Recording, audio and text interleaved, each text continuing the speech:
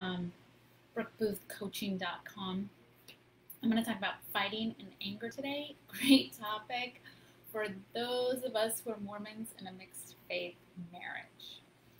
So, if you're anything like me, you were probably raised LDS, and you probably were taught things just like being was never appropriate, um, because that meant I was angry, and anger was not acceptable.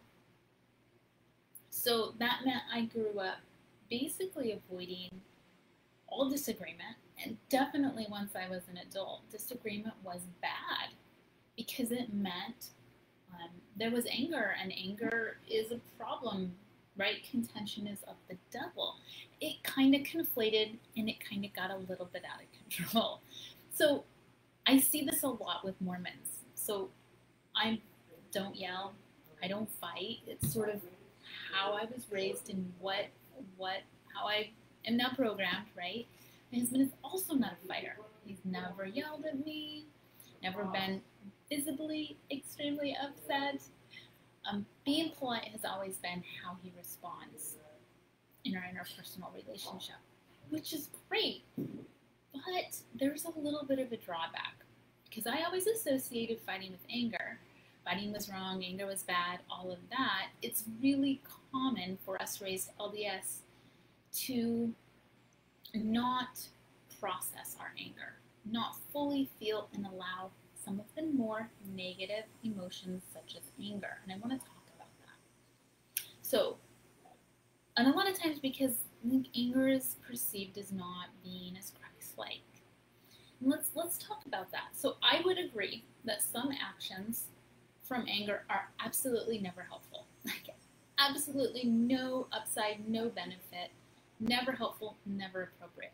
Hitting, name calling, any sort of abusive actions, never appropriate, and a lot of times those stem from anger. But as you'll see below, a lot of times those stem from anger that has been unprocessed and not addressed appropriately. And we'll talk about that.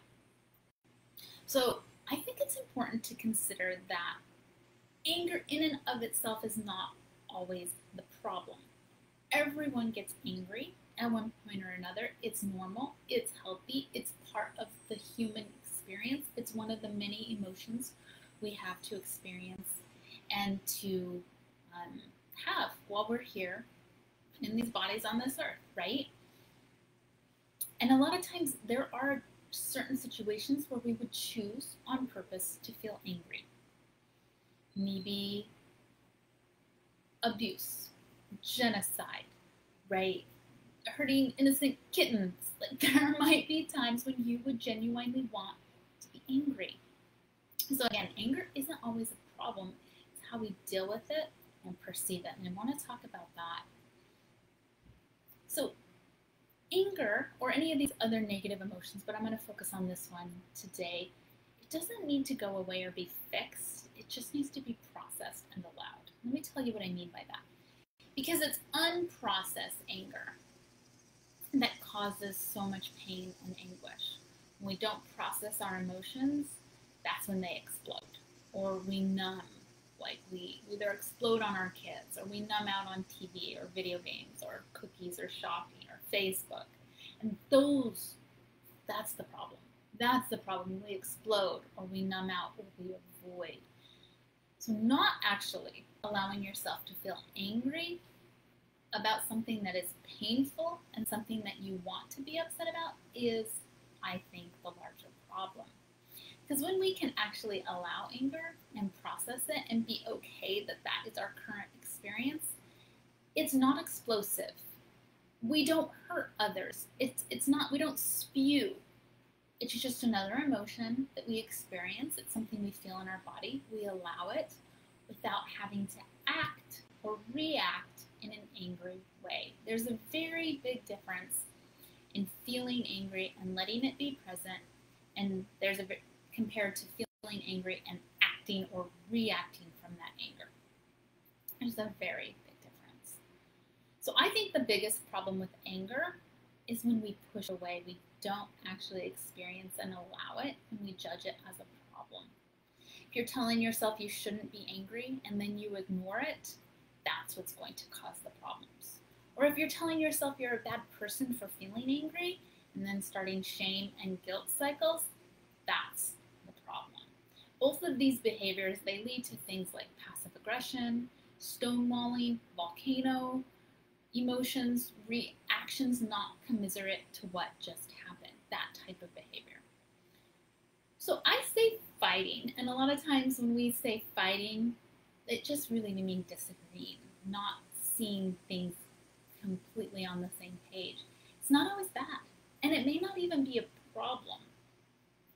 Anger is not always bad, and it may not be a problem. The real problem is unresolved anger, unprocessed anger, ignored anger, repressed anger, or where you react from your anger, or really any other emotion.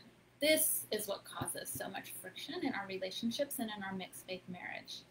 So many times, these unresolved, unprocessed anger causes us to either explode, or sometimes we get a little snarky, a little sarcastic. These are all the results of unprocessed anger when they leak out and they can cause so much damage. So, is this something you resonate with?